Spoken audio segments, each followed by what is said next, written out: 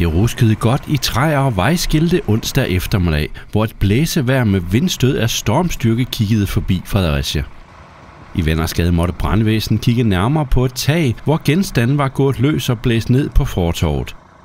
Indsatslederen fra Trekantbrand og politiet afspærrede gaden for at undgå, at nogen kom til skade, imens en tilkaldt redningsstige kunne få brandmændene op i vejret og helt tæt på taget, der havde løsnet sig.